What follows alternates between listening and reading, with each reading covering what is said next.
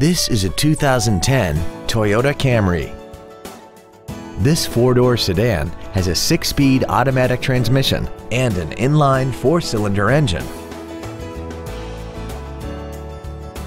All of the following features are included. A low tire pressure indicator, aluminum wheels, traction control and stability control systems, a CD player, a leather-wrapped steering wheel, a passenger side vanity mirror, rear curtain airbags, latch-ready child seat anchors, a multi-function display, and this vehicle has less than 63,000 miles.